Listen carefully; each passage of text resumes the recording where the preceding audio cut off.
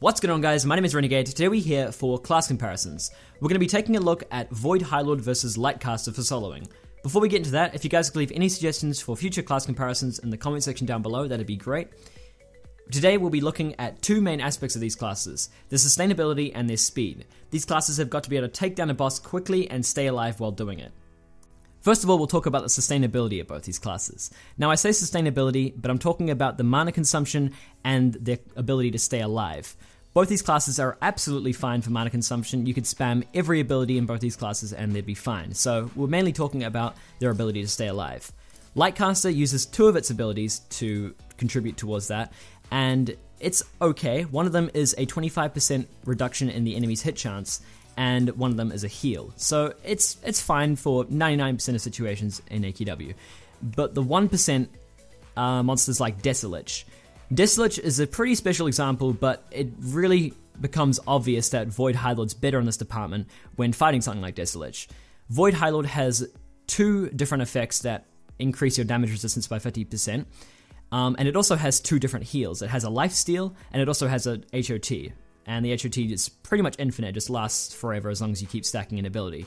So really, Void Highlord is better in this situation, but you need to remember that sustainability is not really too important for the final verdict here. Like I said, most monsters in the game, Lightcaster is absolutely fine for, and of course Void Highlord is too.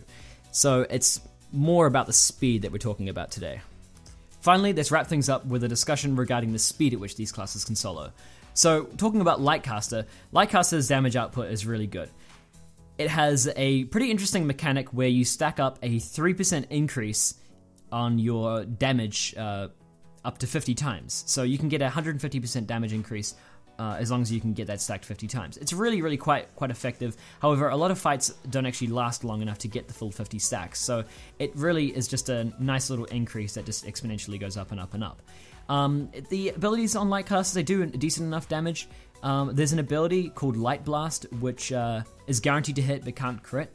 So it's it's a pretty nice nice little hit. It hits about 1.1.4k sort of thing, and you can just rely on that to deal a bit of damage.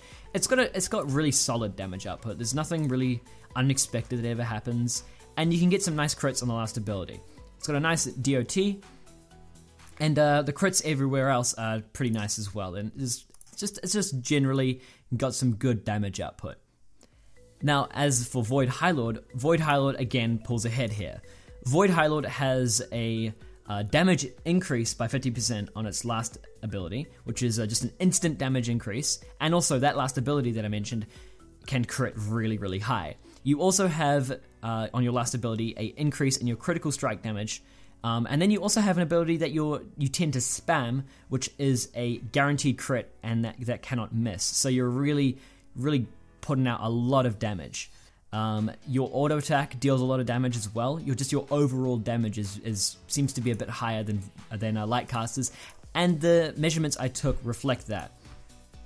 So what I got here was some times that it took to solo a boss that I got. It was just a random boss in the lair. It had 116 KHP. I wasn't measuring the survivability, I was only measuring the speed.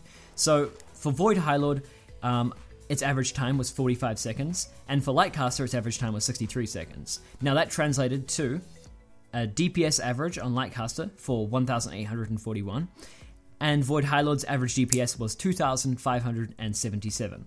So Void Highlord clearly has higher damage and Void Highlord clearly has better sustainability. So the clear winner here is Void Highlord. Now I'd like to quickly discuss what that means though, because Lightcaster is a seasonal class and it's pretty pretty damn easy to get. It's not too difficult to obtain. Um, whereas Void Highlord is the most difficult class in the game to obtain. So it's no surprise that is it's going to be few and far between classes that come close to Void Highlord, and I think Lightcaster gets pretty close. There are a lot of classes in the game that are honestly put to shame by Void Highlord. Classics such as as uh, Artifact Hunter, which was once considered one of the best soloing classes in the game, is absolutely demolished by Void Highlord, getting like double the DPS. It's it's pretty sad to look at a at a once once great soloing class like like uh, Artifact Hunter put to shame by Void Highlord. But that's that's not even not even that important because Void Highlord is so hard to get. As, I guess it's just a nice reward for those who do put in the grinding and the effort to get it. Well, that's going to do it for a video, guys. I hope you guys did enjoy. If you did, leave a like, subscribe if you haven't already, and remember to leave any suggestions for future class comparisons in the comment section down below. I'll see you guys in the next video.